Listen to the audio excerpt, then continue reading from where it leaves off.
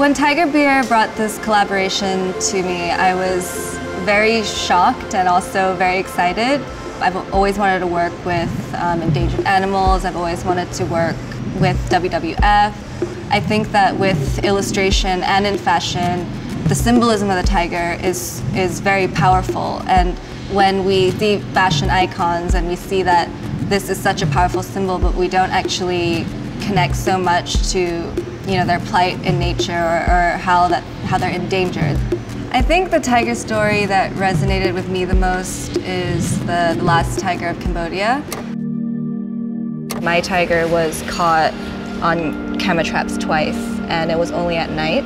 So I want that to kind of set the scene of mine as well. My other tiger's name is Machli.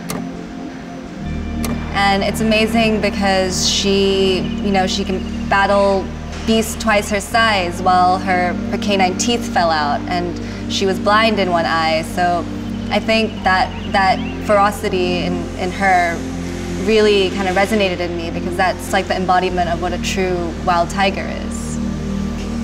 I have more connection to nature now and I, I feel like if we can be a part of it and help in some way, then that's always a, a very positive thing.